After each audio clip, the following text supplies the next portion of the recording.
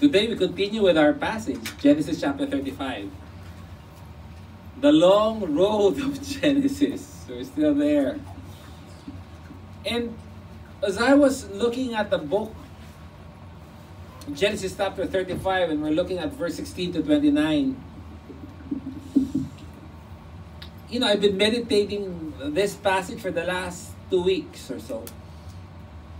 And honestly, I couldn't make what of it. And I was just understanding the, the passage until to me God spoke. And, and, and what it revealed was something I did not expect. It is the title of the message. The Normal Christian Life is the title of the message. And if I would ask you, what is a normal Christian life, right? How, how does it look? How does it smell? How does it feel? Because I think it's important for all of us to have a right appreciation of what a normal Christian life is all about. It's important to manage our expectations of the reality of what Christianity is all about. You know, lately I've been going to the gym.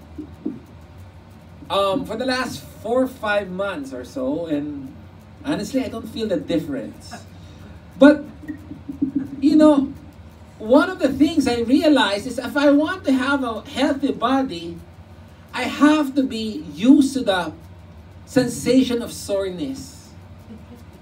Right? You're, you're always sore. I thought in gym you can outgrow that soreness feeling. Apparently you can't. It's always there. It's always painful. I don't know in, in swimming. Do you are you always sore after right? Always eh. And I said, whenever I, am in the gym, I said, ang hirap, ang hirap. I mean, it's so difficult, it's so difficult. But I changed my mindset. I say, ang sarap, ang sarap, ang sarap. and my coach finds it funny. But to me, I have to put my right mindset that this is it. If you want to be a soldier, you have to get used to being shouted at. You can't have a sibuyas na balat. You got to be used of having your rights trampled. And if not, you have no rights. Who was telling me this? Uh, there's a new term in the millennials. Are you, what term is that, that you're used to saliva? What term is that? LC. Who, who told me that term? Who's teaching me that term? You? Oh yeah, my friend. LC. Do you know LC in millennials? No. No? So none here, no one's millennials here, huh? And, uh, ano, somebody may LC? Laway conscious. You use a spoon and you want to use, uh, no, I'm laway conscious. You know, you don't want to share stuff. LC, that LC. You know, in the school of Bambi, there's no such thing. I was surprised. They're super non-LC because I saw one time I visited at a play. He drank Coke. After the, the guy drinks the same Coke. Together. so, what? What? What's the style here? And a guy approaching gets the button and drinks the Coke. They're not LC. Right? You know, if you want to be an engineer, guess what? Don't be disappointed with math. what? Right? Raphael cringed. Oh, math. Don't be so disappointed. Because it's part and parcel of being an engineer. And this is it. You want a Christian life? Guess what? Expect a hard one. I realized that. Christian life is a hard life because it's the very tool that God uses in preparing us for heaven. I never saw it that way. And I realized something. Earth is not the final destination. It is not the final destination. It is the preparatory. As much as studying in La Salle is not the final destination. You have to put in the hard work. As as much as PMA is not the final destination wherein you get shout at, wherein you you get woken up early in the morning to, to march and run X number of kilometers. That's not the final destination, but that is part of preparing you for the final destination. Christian, the Christian life is a hard life. And as we look at Genesis chapter 35, we see the, the life of Isaac ending, and we see the life of Jacob in its twilight years. And I realize this that the life of Jacob, the life of Abraham, the life of Isaac, the life of Paul, the life of every great believer is a life of hardship. That is the archetype of what a Christian life is all about. That is what we are to expect this side of heaven. Go now to Genesis chapter 35, verse 16. We'll be looking at verse 16 to 29. The typical Christian life. Remember, Jacob was the chosen one. Jacob, I love. Esau, I hate. We are talking, God is describing the life of the guy that he loved. where Israel will, the line of the Messiah will come. And we pick up in verse 16. Then they journeyed from Bethel, and when they were still some distance to go to Ephrath, Rachel began to give birth, and she, and she suffered severe labor. On that trip, Rachel starts a heavy labor. We were not informed before this that she was pregnant. And this would complete the 12 tribes of Israel. Benjamin will be the fast, the last of the kids of Jacob, completing the 12 tribes. Verse 17. When she was in severe labor, the midwife said to her, do not be afraid, for now you have another son. Rather than Jacob comforting the uh, Rachel, who was comforting? The midwife was comforting. That was the desire of Rachel. When she gave birth to, to Joseph, she, she said, One more, Lord. I want one more. Verse 18. It came about as her soul was departing that she named him Ben Oni. But his father called him Benjamin. Interesting to note that death is not the end. Her soul was departing. Death is just the departure of the soul. It is not the end of our existence. Mm-hmm. During that time, dying at childbirth, unfortunately, is, is very common. That's a common occurrence. And at the deathbed, Rachel calls his son what? What's his name? Meaning what? No, no, the name is Ben Oni, meaning son of sorrow, son of trouble. She was experiencing great pains, great difficulty, and named his son similarly. Son of sorrow, son of trouble. But Jacob did not agree. Sabi niya, no, I'll not call you that. I will call you Benjamin, son of my right son of importance. Normally at the right side is, is normally the one who sits at the right side of the host is the most important guest. It is the only child, Benjamin was the only child named by Jacob. He was the only child born in the promised land. Remember, Jacob was not living in the promised land, he just arrived in the promised land. And when he arrived in the promised land, the first thing that greeted him was what? Death. Death of whom? The maid servant, right? Of Rachel, the mom. That's the first thing that greeted him.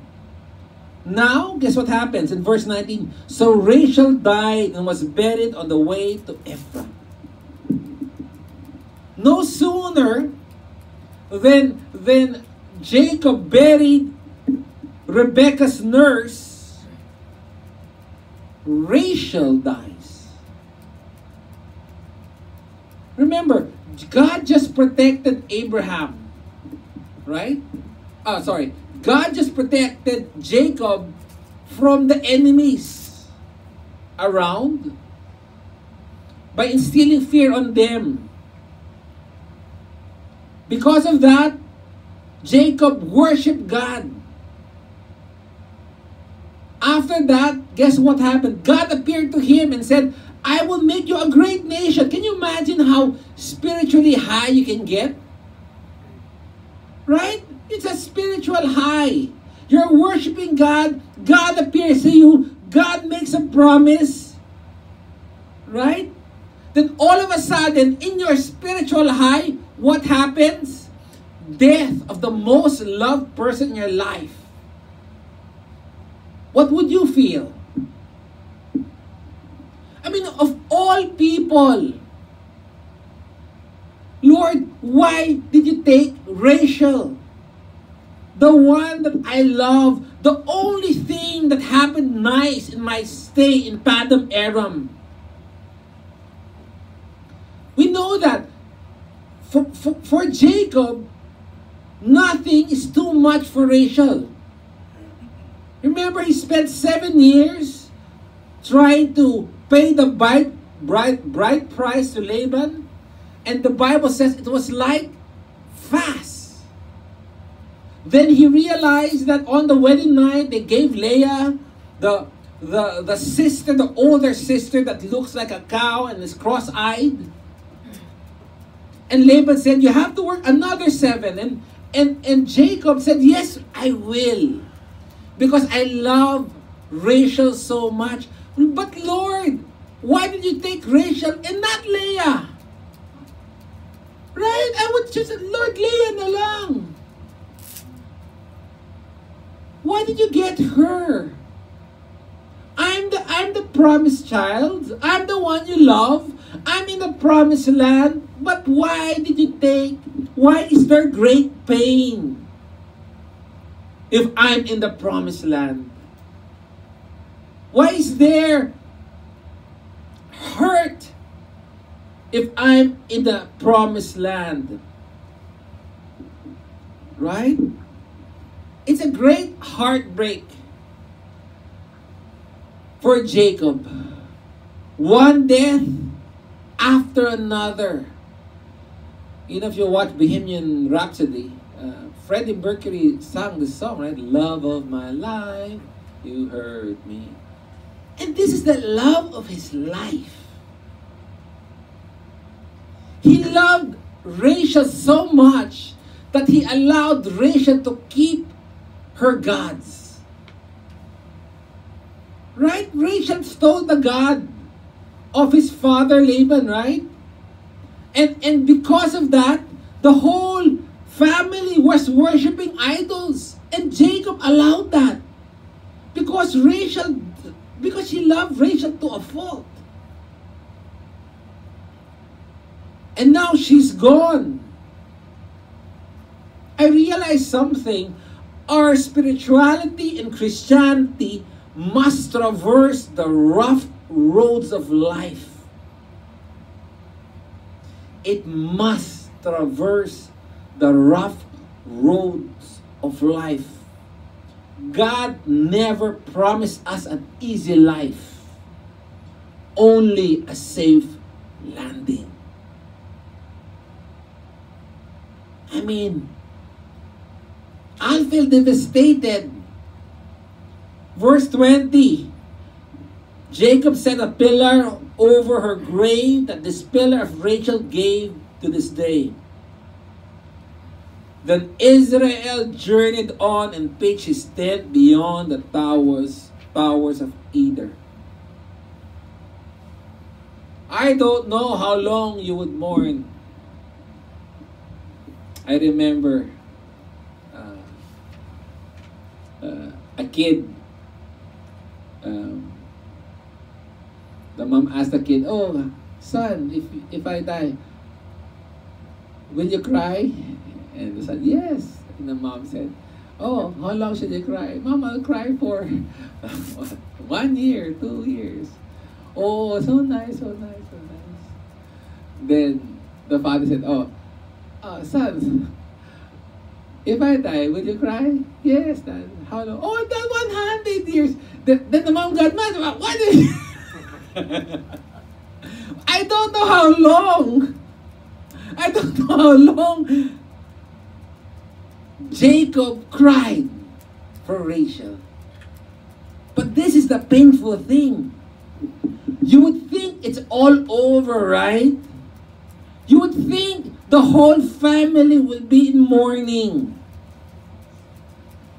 Not long after burying and grieving the death of the love of his life, guess what?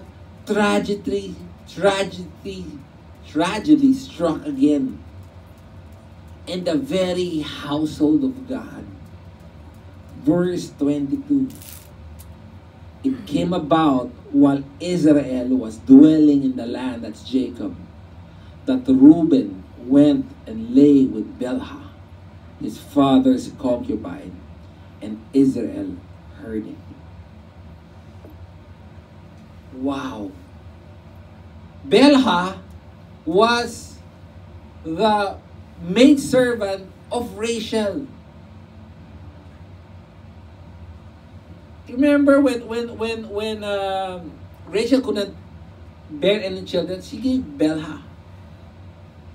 So it's Rachel, Leah. Leah has a maid servant. Rachel had a maid servant. Who raped Bilhah?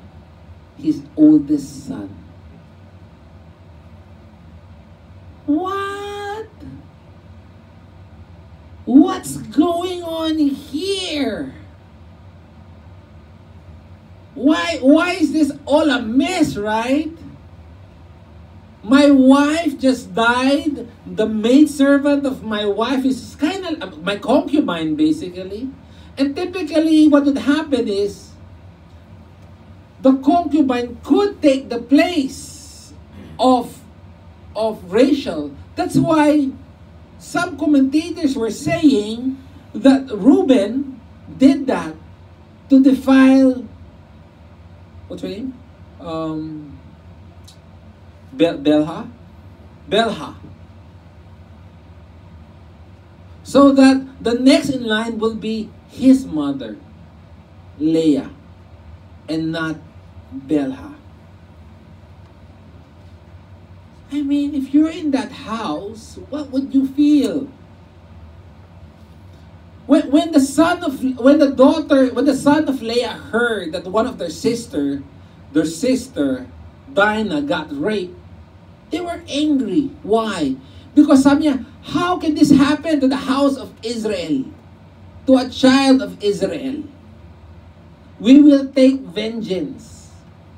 But when it happened in the very house of Israel, everybody was quiet.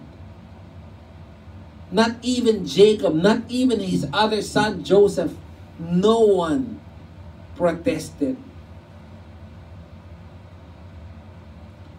That's painful. Yet, despite that, the family still remained intact. Verse 16 to 18, we saw the birth of the last child, Benjamin, right? And because of that, Leah, uh, Rachel died. Verse 22, we now see the debauchery of the first child. This summarizes the, the earthly life of Jacob. From his last child that brought death to his family to his first child that brought debauchery to his family. First to last. It's all pain. And in between, she has a daughter that was strutting herself. That's why she got raped. He has sons that committed murder. After this, the sons of Israel of Jacob was enumerated in verse 23. The sons of Leah was Reuben, Jacob's firstborn, the one who just raped one of the concubines. Then Simeon, the Levite, Judah, Issachar, and Zebulun. The son of Rachel, Joseph, Benjamin. The son of Bilhah, Rachel's maid, Dan, and Naphtali. The son of Zilpah, Leah's maid, Gad and Asher. These are the sons of Jacob who were born to him in Paddan Aram. Jacob had left his house, father's house, with no possession. Now he comes back with 12 kids. God indeed was faithful in his promise to Jacob but not without consequence. The house of Jacob was divided. Verse 27 to 29. Jacob came to his father Isaac at Mamre, at Kiriath Arba, where Abraham and Isaac had sojourned. Now the days of Isaac were 180 years. Isaac breathed his last and died and gathered to his people an old man of ripe age, and his sons Esau and Jacob buried him. That ends chapter 35. It starts with the death of the servant of the, the mother. Then it continued to the death of Rachel. Then it continued to the treachery of his first son, raping a concubine. Then it wraps up with the death of his father.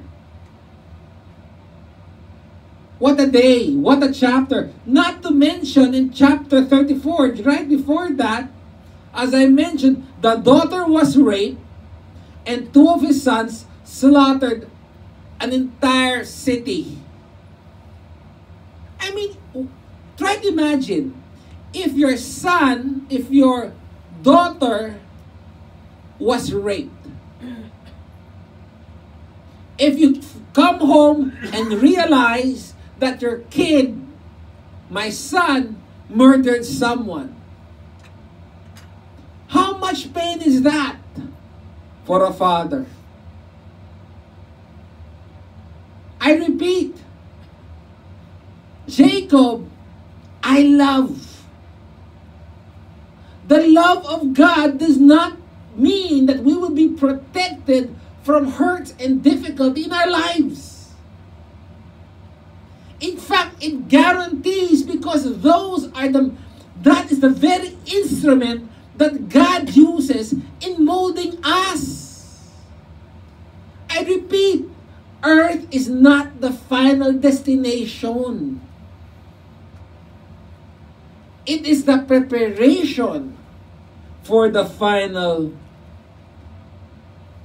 destination. That is the homecoming of Jacob. That was his welcome party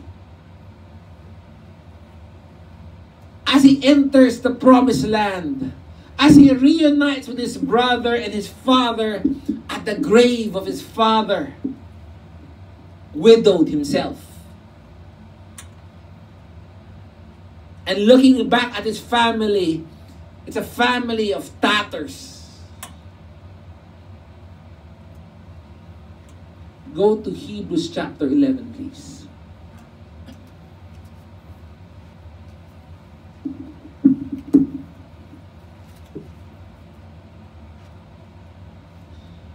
Hebrews chapter 11 in talking about the patriarchs Abraham, Isaac, and Jacob says this Faith is being sure at what we hope for and certain of what we do not see. By no means this is the full definition of faith. But faith somehow depends on hope. Faith somehow looks at a future reward. Why do we say that? Jump to verse 6. It goes on to say, without faith, it is impossible to please God. Because anyone who comes to Him must believe that He exists and that he rewards those who earnestly seek Him. In a large part, the rewards are what? Future. It is eternal.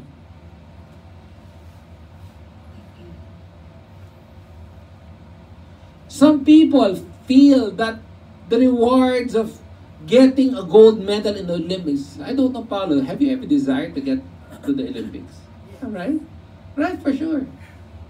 And, and, and, and it's worth all. And some, you know, I, I read Michael Phelps, right? He has no Christmas, he has no birthday. He just swims and swims and swims and swims and swims. And swims. yeah. And he says it's worth the reward. Mm-hmm. It's worth Olympic gold. It's worth all the suffering. It's all worth the sacrifice just to get the gold.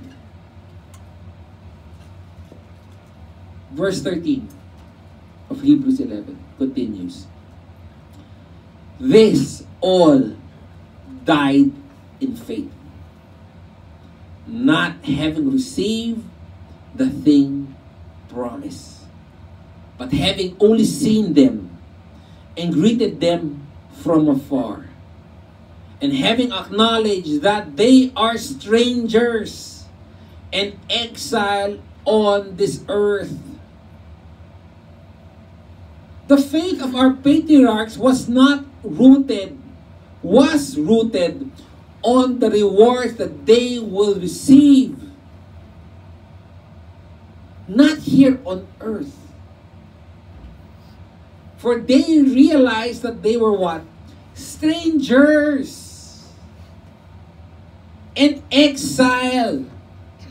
And that they are just passing through this earth.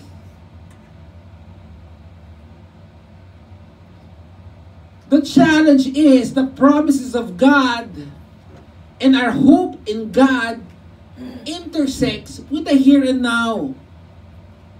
That is the problem. The problem with Christianity now is that we want our rewards now. We tell ourselves now must be worthwhile. Christianity would be much easier if now is easier. We want the rewards, we don't want the storms. We don't want the sickness. We don't want the bills. We don't want this. We don't want that. And you tell me, Bob, this is not the Christianity that I signed for. Yes, that is true. Nevertheless, this is what Christianity is all about.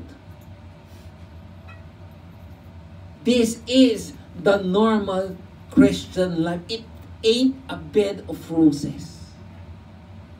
Jacob, Exhibit 1. Abraham, Exhibit 1. Paul, Exhibit 1. It is ludicrous to expect anything else from a world riddled with mm. sin and corruption. It is outrageous to expect a life different from that. Not to mention you yourself is sinful and you yourself is corrupt. Mm-hmm. Remember Paul? What did Paul say? He had a thorn in his flesh. And he pleaded to God, Lord, take out this thorn in my flesh. He expected relief. But guess what? It did not come. God did not relieve him of the thorn in his flesh. You know what he said? In 2 Corinthians 12, when he was pleading to God, release me from this situation, he said this My grace is sufficient for you. Lord, I want the relief. My grace is sufficient for you, for power is perfected in weakness. That's what he said. And all to the life of Paul, it was pain, misery. He says in 2 Corinthians 11, four more labors and far more imprisonment, beaten, beaten times without number, often dangers of death. Five times I received from the Jews nine, 39 lashes. Three times I was beaten down with rods. Once I was stoned. Three times I was shipwrecked. At night and day I've spent Three that night and day I've spent in the deep. I have been on frequent journeys in dangers from rivers, dangers from robbers, dangers from my countrymen, dangers from Gentiles, dangers in the city, dangers in the wilderness, dangers at the sea, dangers from false brethren. I have been in labor and hardship through many sleepless nights in hunger and thirst, often without food, in cold and exposure. Apart from such eternal things, there is a daily pressure on me of concerns for all the churches. In 2 Timothy, in his last letter, Paul speaks of his disappointment because everyone in the province of Asia deserted him. And now he is left to defend himself solely with Caesar. Abraham, Isaac, Jacob, Job, Joseph, Stephen, Paul, Matthew, Mark, everybody. What makes us think that we are exempted? What makes us think that this should not be our case? The problem lies, I believe, with the church. The church has failed to say that this is the Christian life. It is a life of preparation. It's a life setting us up to die to ourselves and to trust in God and God alone. Yes, God said, I have came that they may have life in John 10, 10 and they might have it abundantly. But what is an abundant life? We are taught that our hope is in the here and now, as if we are already living heaven here on earth. We treat sufferings in our life as unnatural. We think that the goodness of God implies that we will not suffer. We think that God cares more for our happiness than our holiness. We think when the God says, I will comfort you, that means He will relieve us. We think when God says, I will protect you, means that there will be no harm. Yes, it's true. God is gracious. God is compassionate, slow to anger, abounding in love, as Jonah said. Yes, it's true in Ephesians.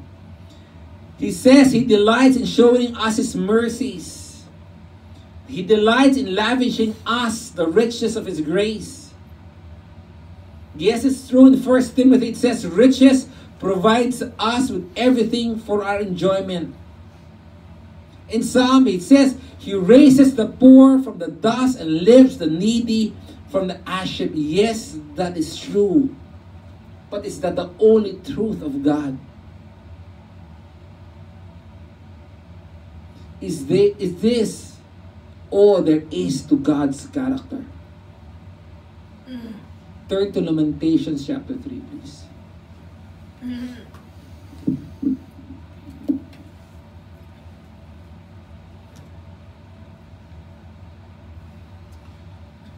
Lamentations chapter 3, verse 1 to 18 says, I am the man who have seen affliction because of the rod of his wrath.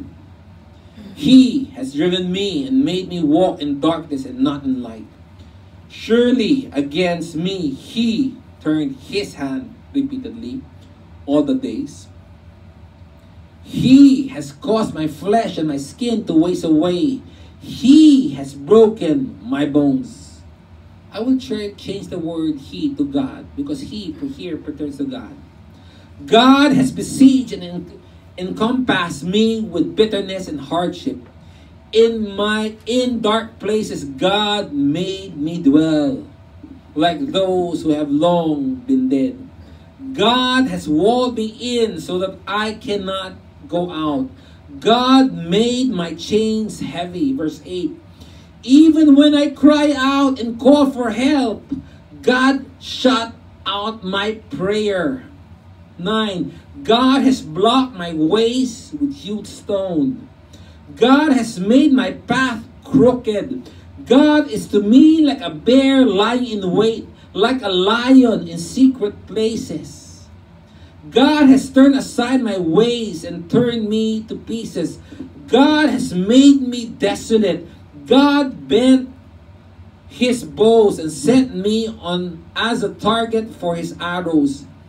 God made the arrows of his of his quiver to enter into my inward part. I have become a laughing stock to all my people. They're mocking, they're mocking songs all the day. God has filled me with bitterness. God has made me drunk in wormwood.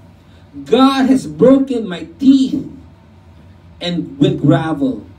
God has made me cower in the dust. My soul has been rejected from peace. I have forgotten happiness. For I say, my strength has perished, and so my hope from the Lord. And we struggle to conceive a God who would do such a thing.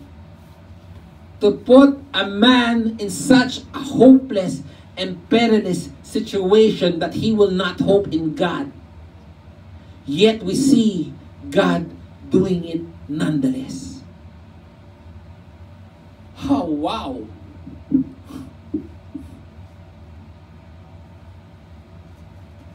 So when tragedy strikes, disappointment comes in at our door, we woefully are unprepared.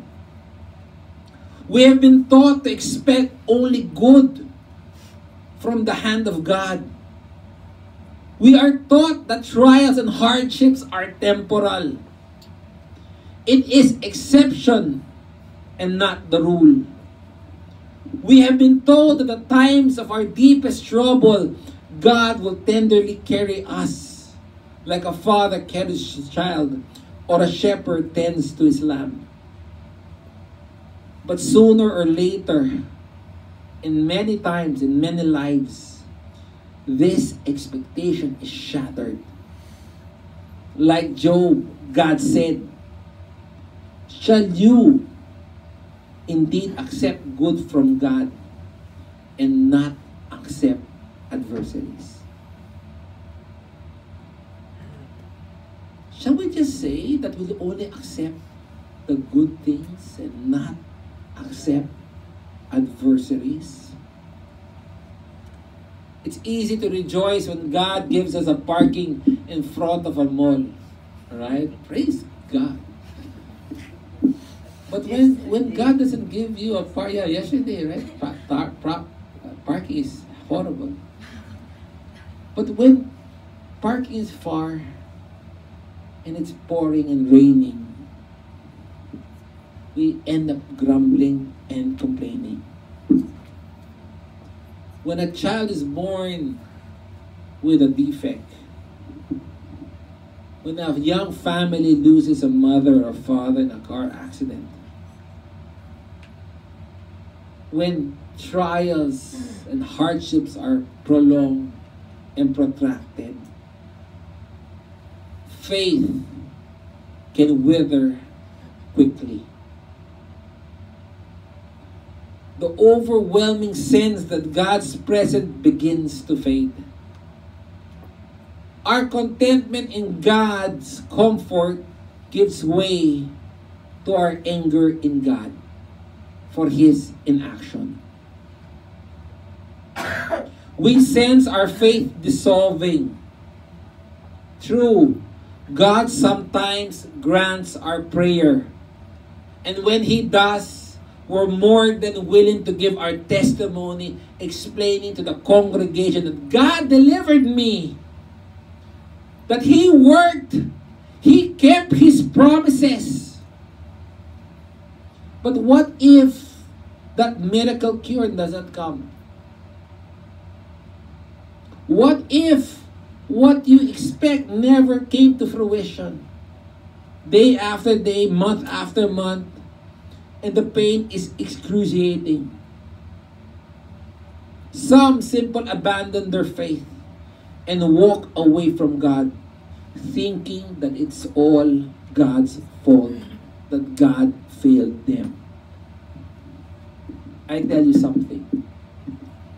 Trials in our life is not meant to test if God is faithful. It is to test if we are faithful. It's given. God is faithful. But the devil puts in our mind that he is not. Test is to show to God that we Remember Sarah? God promised Abraham, you'll have a child with Sarah. Year after year after year, disappointment. No kid, no kid. I try, I try, I try. They said, okay, here's Hagar. Hagar gets pregnant. What would you feel if you're Sarah? Man, I'm the problem. Not Abraham. He's fertile. And then what God said, after some time, God said again to Abraham, Tell Sarah, you'll have a son, you'll have a wife again. Can you? I will have another child. You'll have a child. Can you imagine the feeling of Sarah? Another disappointment. Why did you remind me of a promise that He will not keep? First of all, God, you made a promise. Mm-hmm. Why are you not keeping it? Now that I have forgotten it, why are you reminding it? Do you just want to rub salt in the, in the wound? Imagine the the frustration and the disappointment in the life of Sarah. But such episodes should prompt us to examine ourselves. What is a normal Christian life? It prompts us to bring into focus who God is and who we are. We live in a world of self indulgence, hedonistic society wherein we really think all we think about is all about our comfort in life. We want happiness, Lord, not holiness. Lord, I want to be satisfied, not sanctified. Lord, I want to be filled and not be content. And if it does not go our way, we ask God and we complain, we get depressed, and we get angry to God. Remember what God said to the to the Jews before they entered the promised land. Let me read. You don't have to go there. It's in Deuteronomy 1, verse 26 to 33. It says, Yet you were not willing to go up, but rebelled against the commands of the Lord your God. And you grumbled in your tents and said, Because the Lord hates us. He has brought us out of the land of Egypt to deliver us into the land of the Amorites to destroy us. Where can we go up? Our brethren has made our hearts melt away. The people are bigger, taller than we. The cities are larger and fortified to heavens. And beside, we saw the sons of the Anakim there. Then I said to you, Do not be shocked, nor fear them. The Lord your God goes before you, will himself fight on your behalf, just as he did for you in Egypt beyond your eyes. 31.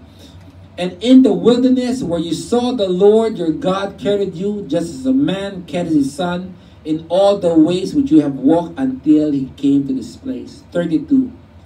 But for all this, you did not trust the Lord your God. That was the rebuke of God to the Jews. Trials came in your life. You grumbled, you complained. In all this, you did not trust in the Lord your God. Are we the same? But you tell me, but Bob, my situation is different. My situation is not like Jacob's. Right? My situation is unique. First Corinthians, and this is a common verse. First Corinthians 10 13 says, No temptation has overtaken you, but that which is common to man. And God is faithful. How is He faithful? Who will not allow you to be tempted beyond what you are able, one. Two, but with the temptation will provide a way of escape also, so that you will be able to endure it. I realize there's something wrong with that verse. Right? It seems that there's a contradiction in that verse. And the contradiction, the contradiction is this. Mm-hmm. Where's that? Who will not allow you to be tempted beyond what you are able, but with the temptation will provide a way of escape so that you will be able to endure it. If you will escape the situation, why do you need to endure? Right?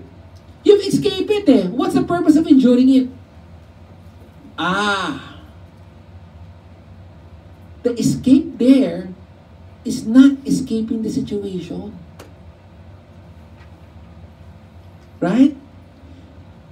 If we escape the situation, we need not endure it. The problem with us is we want to dictate on God rather than rather than rather than accept the dictates of God. It is only when we have learned to accept our circumstance, I'm not talking about sin, and stop blaming others and God that we can start moving forward again in our Christian life. The way of escape that God provides us is to trust in God. That He did not make a mistake. The way of escape is not dictating on God. It is accepting His dictates. Then you will able, then you will be able to endure it. When you stop blaming, when you start accepting, that is the time that you can move forward in your Christian life. We always thought that the way of escape is God taking us out of the situation. No. It is changing our understanding of the situation. When that happens, then we can endure. That's why Paul, despite his dis- deep disappointments, remained confident. And his final testimony was this I have fought the good fight. I have finished the race. I have kept the faith. Now there is no store for me for the crown of righteousness, which the Lord, the righteous judge, will award to me on that day. You remember when Jesus was talking to his disciples in Luke chapter 18? And his dis- disciples were discouraged. You know what Paul, what you know what Jesus said to them? When the Son of Man comes, will he find faith on the earth? When the Son of Man comes, will he find faith on the earth? Why? Because Jesus knew you will need a lot of faith. Why? Because the road is rough. Will he find it?